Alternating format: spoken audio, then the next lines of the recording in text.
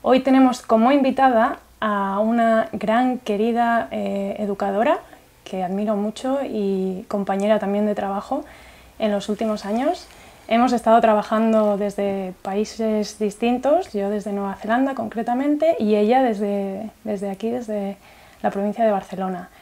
Em, la hemos querido entrevistar porque tiene muchas cosas que contarnos, especialmente sobre literatura infantil, pero la voy a dejar, os voy a dejar con ella para que nos cuente un poco más de su trayectoria profesional.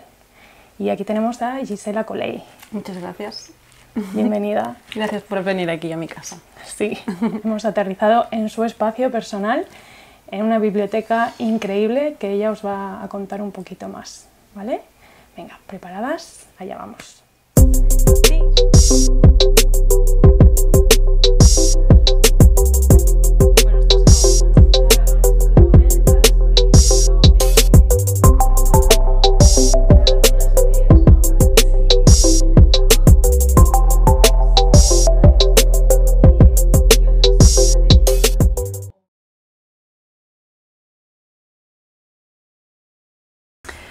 Pues mira, la verdad es que mis dos padres, mi padre y mi madre, son maestros y creo que algo de aquí hay, ¿no? De, las raíces familiares. Y aunque siempre me ha traído la escuela y bueno, pues yo siempre estaba ¿no? en, casa en la escuela de la clase de mi madre, preparando, ayudando, haciendo. Eh, en realidad hubo un momento que yo quería ser cantante de ópera. y estuve, pues eso, ¿no? Estudiando y trabajando para poder llegar a ser cantante. Lo que pasa es que luego, bueno, es un mundo que tampoco es para mí y dije, vale, pues mi segunda pasión que es la educación, ¿no? Y yo he estado toda mi vida en un colegio público aquí en el pueblo pequeño, sin mucho más, pero tuve la, la, suerte de poder ir de adolescente al extranjero, en Inglaterra, en una escuela muy particular, Brockwood Park School. Y ahí es como vi también otra forma ¿no? de poder relacionarme con el aprendizaje y me abrió también un mundo. Así que decidí pues eso, estudiar magisterio y a partir de aquí ya uf, relacionar pues, la educación con, con, la vida en realidad, ¿no? O sea, no es un tema concreto, sino sí, relacionar con la vida, con mis propias experiencias, con crecimiento personal. Bueno, y de aquí ya se abre uf, un mundo, ¿no? Muchas raíces que va, que claro. se va, va creciendo ¿no? en el mundo del conocimiento.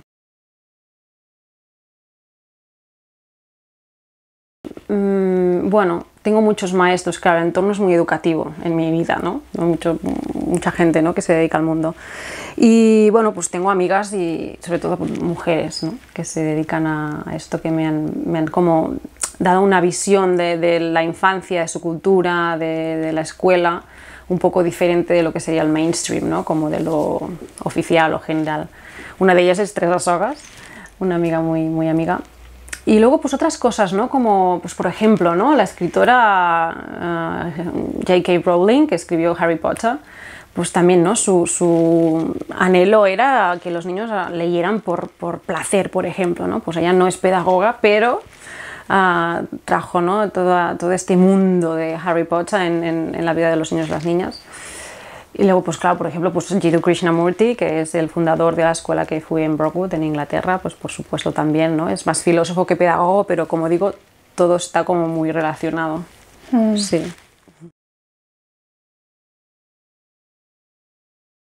Pues la verdad es que el primer libro que leí de pedagogía es un libro que me regaló mi madre antes de empezar la carrera, que es este, Va de mestres, carta als mestres que comencen, para los maestros que empiezan, de Jaume Sela y Juli Palou, y me transformó muchísimo bueno, esa mirada ¿no? hacia la educación, hacia el, ¿no? como el alumno en el centro. Luego en la carrera me impresionó mucho Francisco Tonucci con la ciudad de los niños, y hice un trabajo, una investigación y ahí empecé como a ver mi línea, ¿no? que es lo que me interesaba. Y luego ya referentes pues, a lo largo de toda esa historia, pues tengo aquí toda una selección de libros. Um, pues vemos Rebecca Wild por, por, des, pues sí, y aquí tenemos otros, ¿no? Pues desde Claudio Naranjo, a Arno Stern, a Alexander Neal con Summerhill, muchísimos referentes. Pero bueno, he escogido estos de aquí, me los llevo ahí para que podamos ver. Pues como conté, uh, la figura de Jiddu Krishnamurti, que es un filósofo, y yo fui a, a la escuela de, de, alumna, pero también luego a enseñar de profesora. Uh, me gusta muchísimo The Whole Movement of Life is Learning, que no es solo el estudio académico, sino todo el aprendizaje de la vida, y Educating the Educator, que es, al final es lo que me dedico, ¿no? a educar al educador. Estos libros son muy referentes para mí. Os hablo de libros que no son estrictamente pedagógicos, de pedagogía, porque los de pedagogía ya conocemos cuáles son, ¿no? todos los referentes, um, Freinet, um, Montessori, Will. Pero los que a mí me han, han marcado más, pues por ejemplo, Daniel Penac, sí, francés, que es un escritor, mal d'escola, y cuenta toda su trayectoria de dolor, de sufrimiento en el colegio. Y me interesa muchísimo porque debe ser una experiencia bonita la de, estar en el colegio, de aprender, de estar con tus compañeros y compañeras. ¿no? Y eh, me dedico mucho a esto, que sea una experiencia de aprendizaje importante para todo el mundo, una escuela inclusiva. Y este libro me frapó muchísimo. Otro referente que no es literalmente pedagogo, Arno Stern, todo lo que hay detrás del juicio. En este caso, claro, habla a partir de la pintura y todo un estudio que hizo, pero también me frapó muchísimo escucharle. Y otras cosas, pues desde el cuerpo y la naturaleza, por ejemplo, desplegándose, que es eh, un, el trabajo que continuó, que continuó Hengstenberg de Pickler con niños más grandes, toda la importancia del cuerpo y el movimiento para el aprendizaje, para mí es muy importante. Y Barefoot and Balance mmm, también, contacto con la naturaleza, aire libro, libre, mmm, todos los beneficios que hay, por lo tanto, de no estar encerrado en un aula horas y horas sentados en una silla.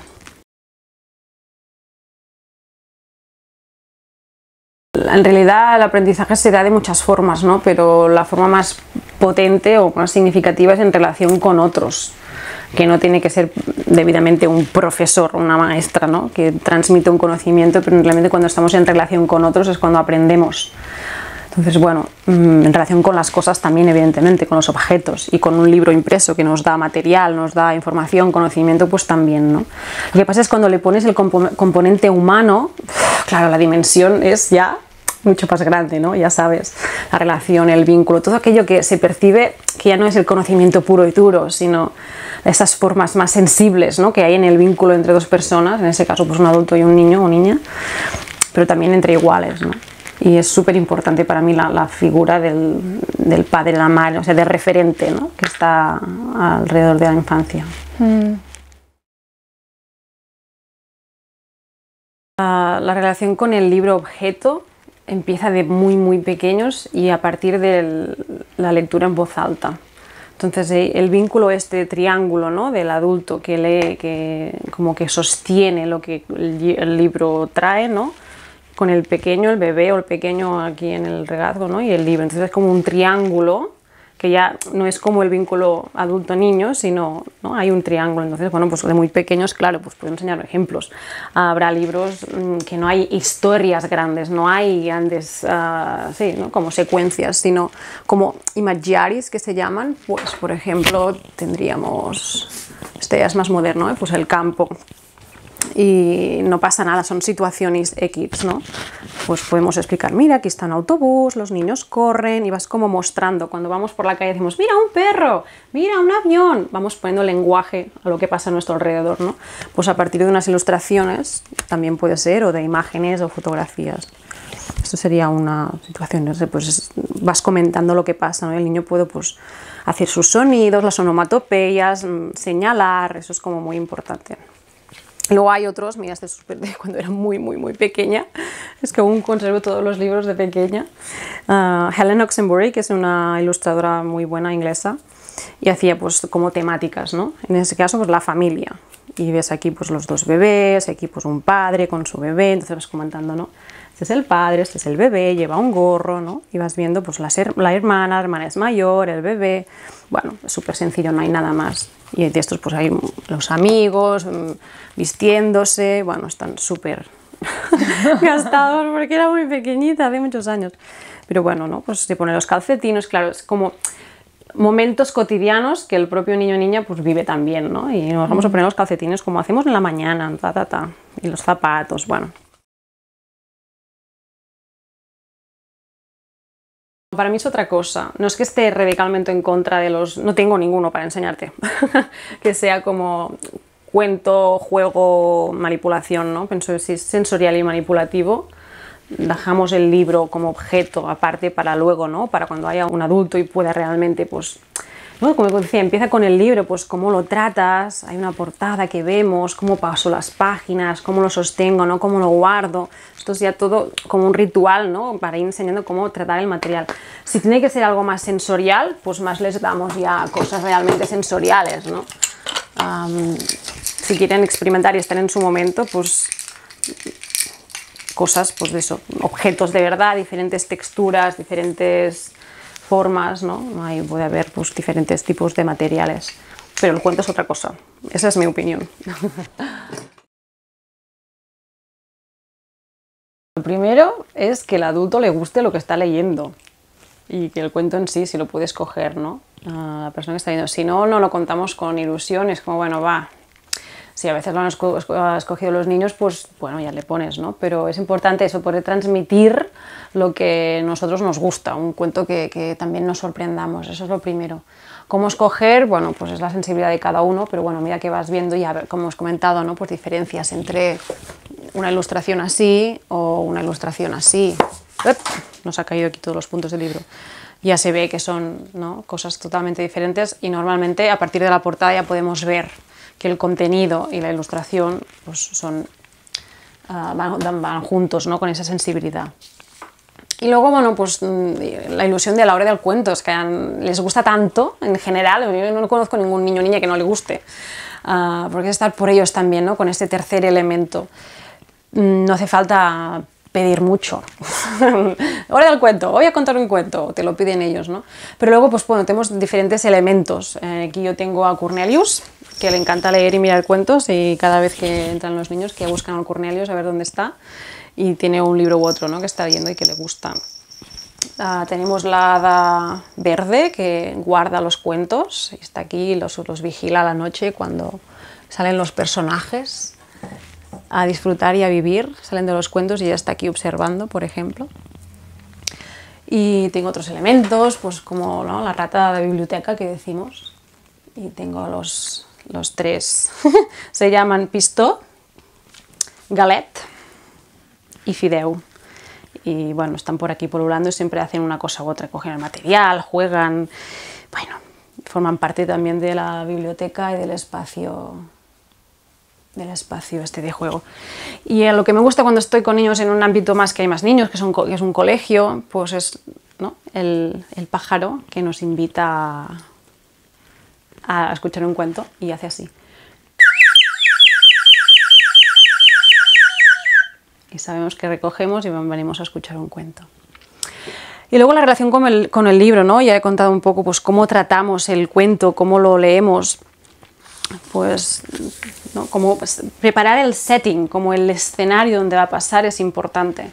Pues un buen cojín para mí, sentarse a la misma altura de los niños, se sientan pues aquí al lado, uno en el regazgo, ¿no? Al lado si hay pocos, sino un pequeño círculo, diferentes alturas también, si estamos en el colegio, ¿no? Pues un taburete, una cadira, una silla, que lo puedan ver bien y con mucha calma, porque si empiezan con el no veo, no veo, no veo, no veo, Ah, es muy agotador, ¿no? no se puede escuchar. Es muy importante colocar bien el, escenario, que estemos todos cómodos y podemos tardar un rato hacer esto, a tomarnos nuestro tiempo. ¿no?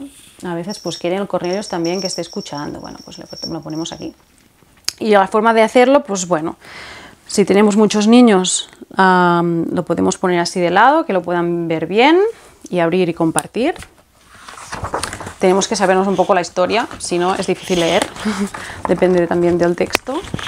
Y a menudo lo que yo ya les tengo como entrenados es que muchas veces yo miro, leo, cuento sin que ellos vean, escuchan, no? L'Anne vivia amb la seva família en una casa enmig del.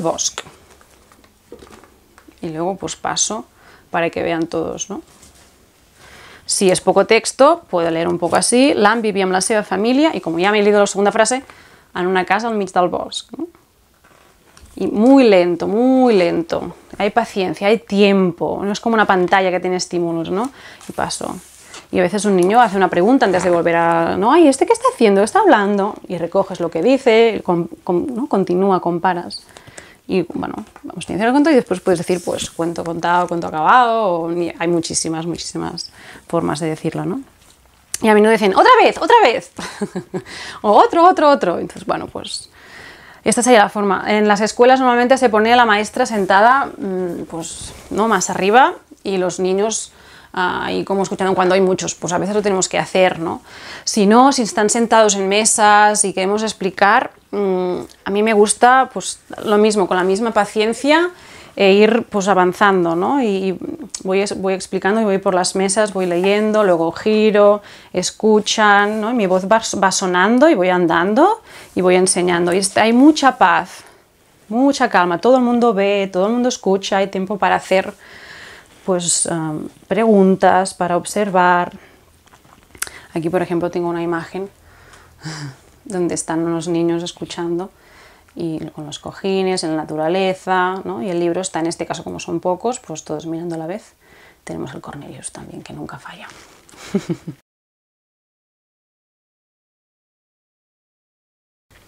Sí, pues profesionalmente ah, nunca he dejado de aprender, de estudiar, de hacer cursos, de leer todas las bibliotecas enteras habidas y por haber y de preguntar a cualquiera, se dedique al mundo de docencia o no, mm, su paso por la escuela, o sea, me encanta. Luego pues he hecho de maestra en varios mm, contextos, en el extranjero, en Inglaterra, con niños pequeños de tres hasta adolescentes. Incluso también he dado formación y docencia en la universidad con futuros maestros y profesores. Pero lo que más, más, más me gusta y lo que ahora me dedico más eh, son las formaciones y los asesoramientos en centros, es decir, como counseling, de llegar a una escuela con su claustro, con su equipo y tienen una demanda, ¿no? una necesidad. Entonces acompaño al equipo para mejorar, para reflexionar, para observar y ver, analizar lo que está pasando ¿no? y acompañarles pues esto a, a, cambiar, a mejorar, a sentirse mejor en cuanto al aprendizaje, cómo tratan a los niños, cómo evalúan, cómo crean los espacios, cómo documentan, mm, bueno, varios, varios aspectos que yo voy acompañando al claustro para una mejora. Cultura de Infancia tenemos cursos online para poder, pues cada uno su ritmo, ¿no? El claustro o, padres y madres o educadores. Y el que tengo ahora es pues de documentación pedagógica, que es cómo documentar de una forma bonita, no burocráticamente, todo aquello que pasa en el aula con los niños y los maestros. Todos los procesos de aprendizaje, que luego a través de esta documentación pues puedes observar y analizar muchas cosas, ¿no? pues la relación del adulto con el niño o la niña, el grupo clase, los materiales, cómo se aprende, cuál es la cultura al final ¿no? detrás del aprendizaje que hay en este espacio. Y luego tenemos un curso también pequeño sobre minimundos, que es ¿no? pues los juegos de materiales pequeños de, piezas sueltas, pues por, como, por ejemplo podríamos tener aquí, a ver si podemos ver, diferente material con piezas sueltas, ¿no? Pues tenemos bolas, niños pequeños que pueden ser pues varias cosas, ¿no? Piezas sueltas, pequeñas y puedes recrear y crear mundos para hacer pues desde un juego simbólico hasta Mm, construcción ¿no? y desde la imaginación y la creación de pequeños mundos que pueden ser también grandes, ¿eh? aunque se llamen mini mundos, pero es a partir de piezas sueltas con que es un material abierto que pueden ser muchas cosas a la vez, no solo una con una sola intención. ¿no? Una cita. Mira, me gustan referentes que no sean del mundo de la pedagogía solo. Y ahora me viene a la cabeza Daulalia Bosch, que es artista, que bueno, también conjunto con Jaume Plensa, a mí me encantan. Y, y me gusta ¿no? pues conectarlo con la educación y dice, lo voy a decir en catalán, el soroll és omnipresent a la vida quotidiana contemporània. El silenci és una conquesta.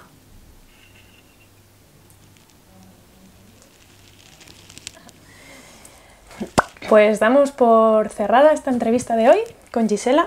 Muchas gracias por tenernos en, tu espacio, por presentarnos a tus queridos compañeros de viajes y cuentos. Eh, y bueno, yo creo que estamos súper, súper agradecidos y seguramente enriquecidos, enriquecidas con lo que nos has contado hoy sobre la literatura, pero también sobre todo de ti, de tu historia, de quién eres, que quieres transmitir, ¿no?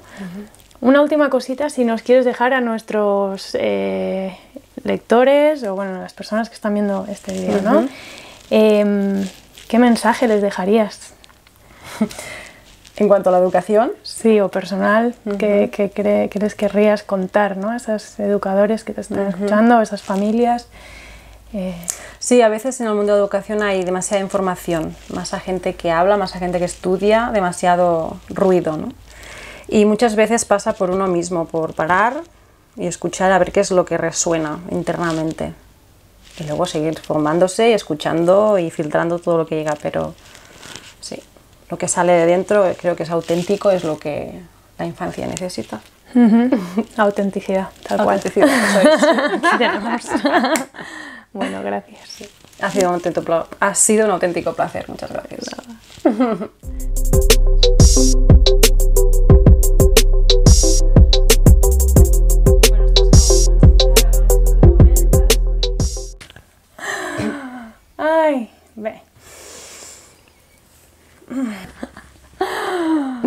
Carrerilla i... Clar, quan fas així... I jo... Bueno, sí. Dime, ¿cómo estás? Sí. Se enfada. Bueno, muchas gracias por venir. Podéis volver cuando queráis. Adiós, Cornelius. Adiós.